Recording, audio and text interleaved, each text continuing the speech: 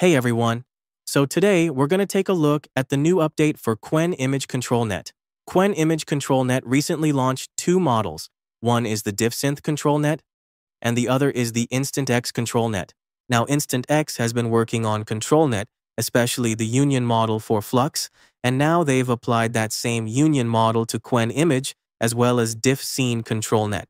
When this ControlNet model first launched, it was only using LoRa models, and I noticed that about five days ago, they've since updated it to use Union models and grouped all the ControlNet types into one model file.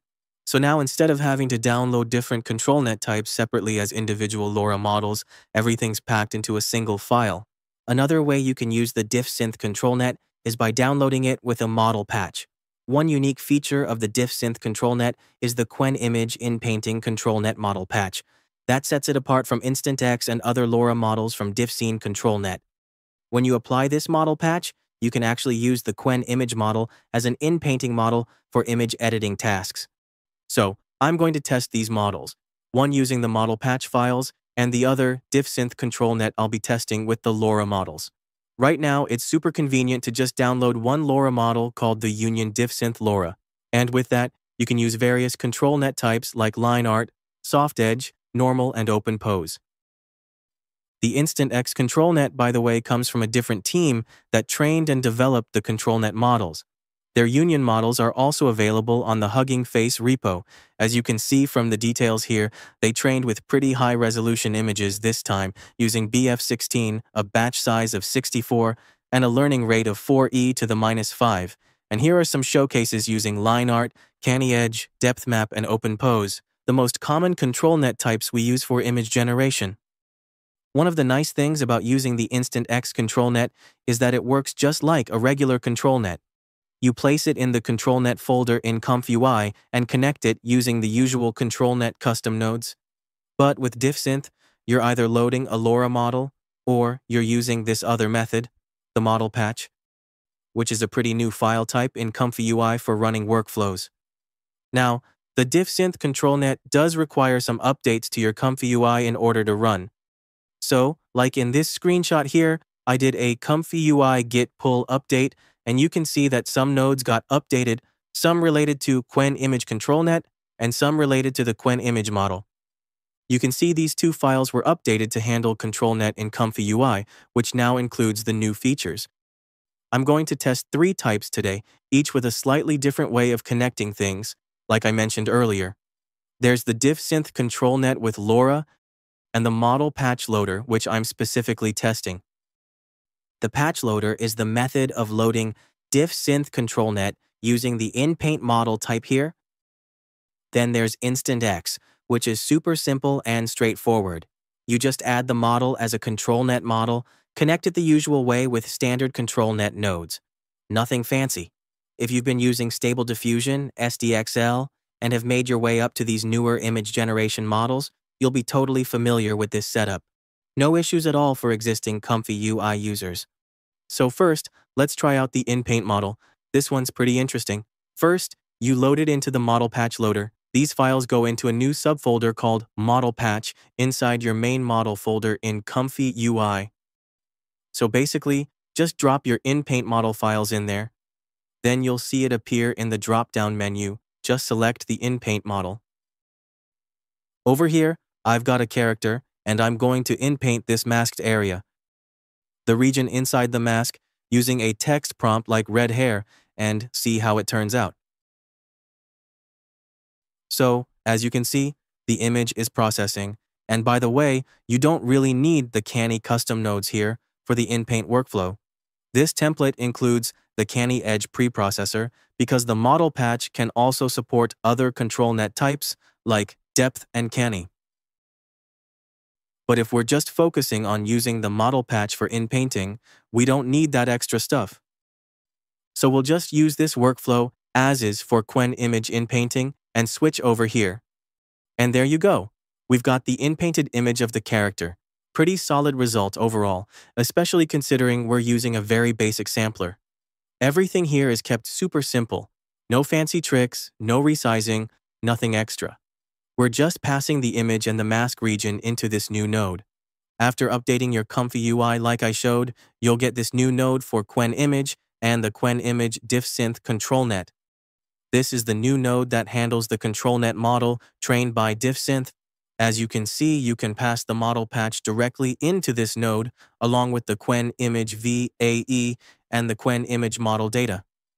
The two main things you need to focus on here are the image and the image mask. There's not much going on in the settings for this node, just the strength, which controls how strong the control net influence is.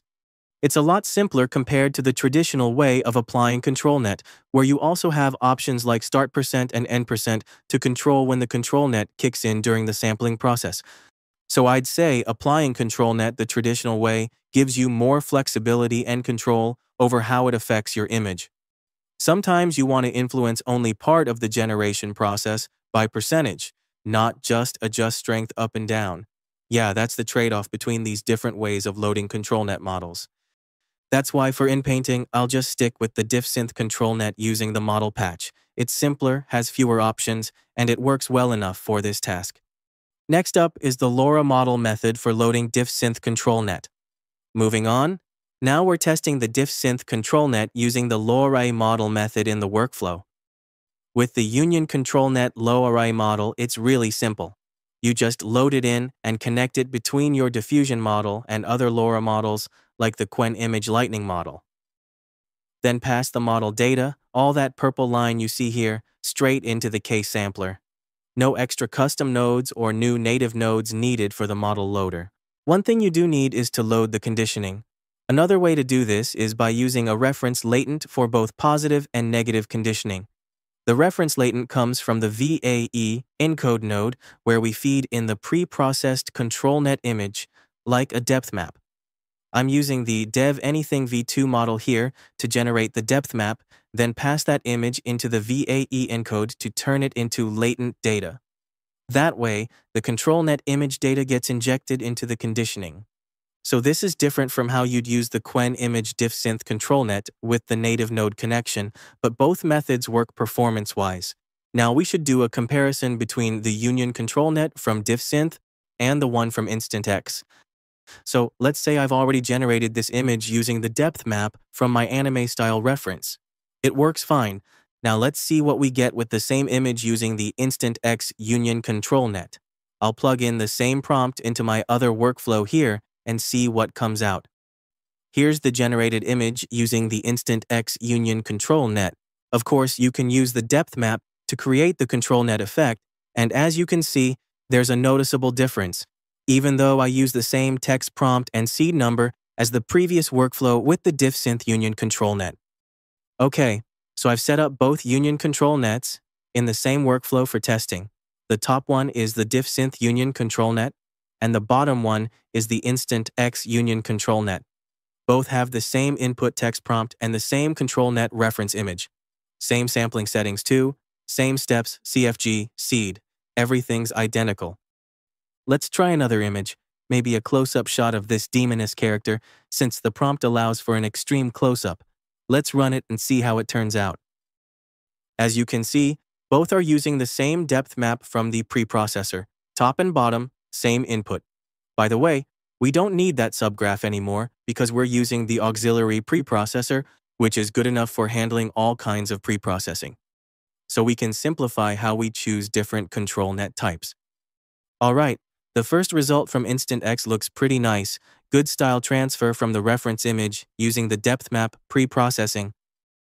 The one above uses the LoRa method, that's the DiffSynth Union LoRa model creating this image. So, yeah, they look different, even with all the same settings. Control net strength, seed, steps, everything. But we get two totally different results, and clearly, the Instant X one, the actual control net model, sticks much closer to the depth map pre-processing. The form and shape of the character, the face direction, the pose, all match much better. With the LoRa model method, you can still see the general shape from the pre-processing, but the character's form isn't as accurate. It's just different. And here's the image comparison, two distinct results from two different control net approaches. Let's try one more, this time a wide shot of two people talking. We'll tweak the prompt a bit. And here are the results. The left one, using the real ControlNet model, is way more accurate. You can clearly see the transition and structure from the pre-processing image. The DiffSynth one? Kind of off. Look at that person standing on the left. It's weird.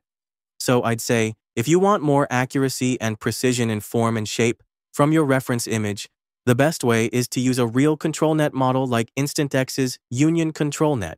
Training actual ControlNet models gives you the most precise results. Whereas using this newer LoRa-style method to embed ControlNet features doesn't give you the same level of accuracy from the reference. Even though this one has a more abstract oil painting style, it's still clearly different from the other. Here's another example, this time with OpenPose. First, I've got this reference image. The preprocessor clearly detects the character in the middle and the background character too. As you can see, both workflows use the exact same OpenPose preprocessing image. But the results are totally different. The one using the LoRa model is way off. It doesn't match the pose at all. But when we use the actual ControlNet file and apply it the traditional way, we get a much better result. The pose is way more accurate. And even if I change the text prompt to a different scene and run them together, the Instant X version still comes out really close to the reference, like the character's face is looking in the right direction. The LoRa version? It's okay this time, the face direction is fine, but the body position is still a bit off. This one's from the Instant X control net, and this one's from the DiffSynth LoRa control net. So, as a conclusion, I'd say I personally prefer the Instant X Union control net, using the traditional method of loading actual ControlNet model files and applying them the way they're supposed to be with the native nodes. It just gives you more precision and better results. That's it for this video. I'll see you guys in the next one. Have a great day. See ya.